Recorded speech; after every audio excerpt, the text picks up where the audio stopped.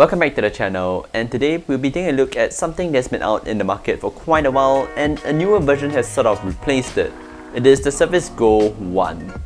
Yes, I know there's a Surface Go 2 out just recently but we're going to be looking at the 1 today as now its value proposition is really good and I feel it's a very good device to get especially now in the second-hand market it's quite flooded with it.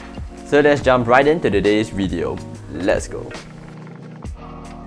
First pricing is around 300 to $450 SGD used on Carousell with the keyboard, as the new Surface Go 2 has replaced it. That's quite decent considering its portability, build quality and price compared to other 2-in-1s. For the specification, it has an Intel Pentium 4415Y at 1.6 GHz with 2 cores, 4 threads.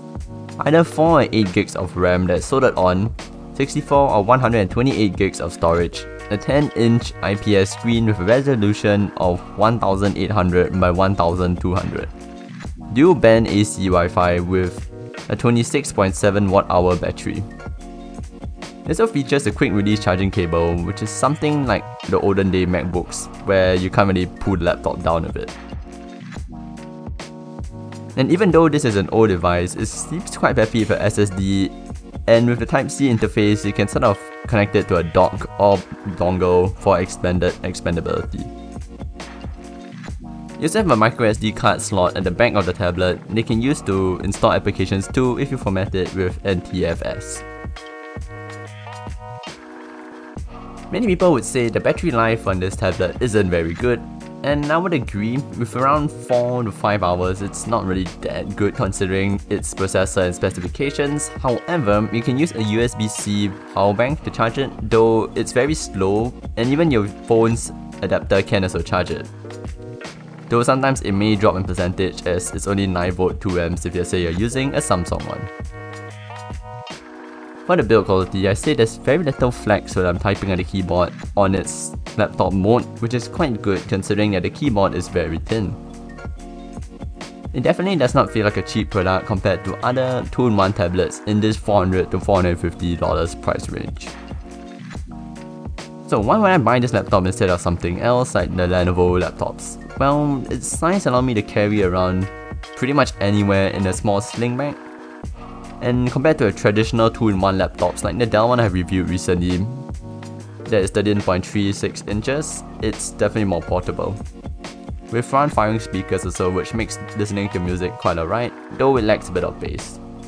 And best of all, it also features Windows Hello facial recognition, which makes signing into this laptop extremely easy.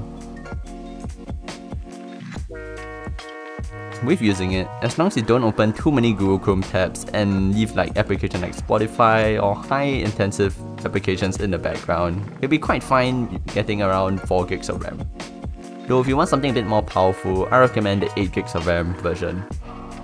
The cameras are not that amazing, but it's good enough to do some video calls or Skype.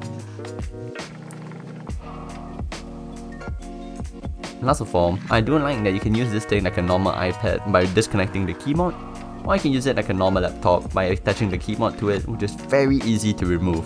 And the keyboard is also backlit, so if you're doing work at night, it is no issue at all. In the end, the Surface Go 1 is a really good laptop if you say you just need something for like Microsoft Word or some basic Google Chrome tabs and all those type of things.